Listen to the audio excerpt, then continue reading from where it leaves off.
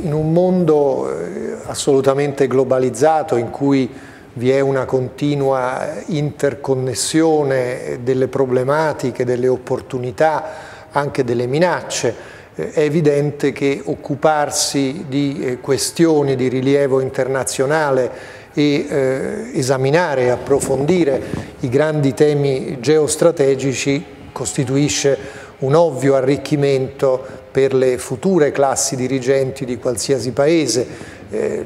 rappresenta una importante occasione anche di riflessione su eh, questioni che hanno attraversato il mondo negli anni più recenti e che lo attraversano oggi.